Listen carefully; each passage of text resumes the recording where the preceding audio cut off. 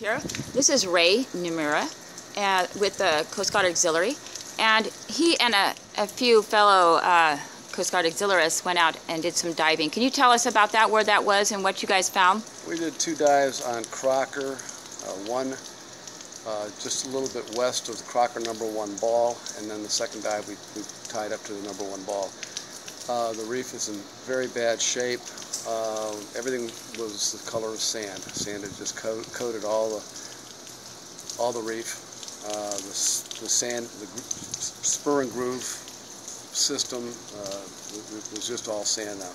There were still a lot of fish out. I was surprised by that. Um, there were some lobsters. We've heard the lobsters have started to move quite a bit because of Irma.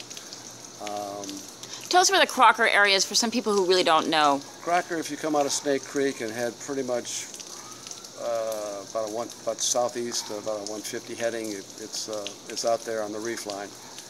Um, is this the uh, three and a half miles out? Gulf or, or the ocean side? Oh, this is Oceanside. The Oceanside, okay, because I don't even know. I'm not a diver. No, that's, that, that's Oceanside. I'm not a diver. It's on the reef line, which is about three and a half miles off offshore. Um, okay, is this typically where people go diving, where, where dive boats will take people? Crocker's a very popular spot. Okay. There are three maintained mooring balls there. Um, but it's just a series of along the reef. There's just one spot. There used to be a red nun, which was a navigational thing that was there, and that blew off years ago, and they never replaced it. But uh, you have a whole series of named reefs, but that doesn't mean that there's not good reef in between these things that are named. Uh, and different dive shops have their names for different little locales. But, but this would be off just southeast of uh, Snake Creek, like I said, about three and a half miles. And uh, the reef was, uh, was not pretty. It was not pretty, but is it still worth diving? Um, well, there was, there was still a lot of fish life. Uh, I, I spearfish, so I was able to spear a few fish, and uh, my dive partner got a few lobster. Um, what, what, about the visibility? Well, it's funny. We, the two dives we did were within a couple hundred yards of each other. The first dive, I'd say we had 40 foot of visibility, and on the second dive, we had about 20.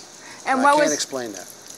It was, it was it in a different spot, total different location? Like I said, about 250, 300 yards Oh, okay, away. you did say that, yeah. Yeah, and, uh, and, and the same depth. We did notice when we got toward the wall, which reef starts slants down to about 60 feet, then drops off to about 80 or 90. So you have a little wall there. And over the wall, it was very milky. The, the visibility uh, was not good at all. Uh, so we didn't we didn't venture down the wall at all. One other thing that was in it, well, the reefs are in modern times. One of the big problems with the reefs is they're they coated with algae. Now the algae's been sandblasted off, so that might be a good thing. And we did not see any lionfish, which is rather, rather unusual for that location. Which might be a good thing. That might be a too, good thing too. So. I don't know. Maybe they don't like hurricanes. I don't know. Okay. So, but if you're a hardcore diver, then it's you're probably not going to care that much about oh it's not pretty anymore. It's just going to be different. You still might really enjoy your dive, right? Well, the like I said, there were still a lot of fish there. Um, we saw turtle, we saw nurse sharks, we okay, saw more eels, we saw a lot of good-sized mangrove snapper and some other snappers, some nice grouper. Uh, a lot of the ornamentals were still there, you know, the butterfly fish and the okay. French angels. So it's still worth diving, I would say. There's, there's still life on the reef. so is this a snorkel spot as well? Then do do the boats take snorkelers out there?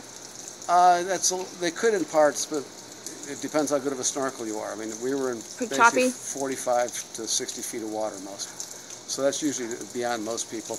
A better dive a snorkel spot would be Davis. Okay, so it's not really a snorkel spot because the reef's down pretty Most pretty the far reef is a little below. out of more, most snorkelers. Okay, all right, great. Thank you so much. Appreciate Okay. that. Florida Keys Local News.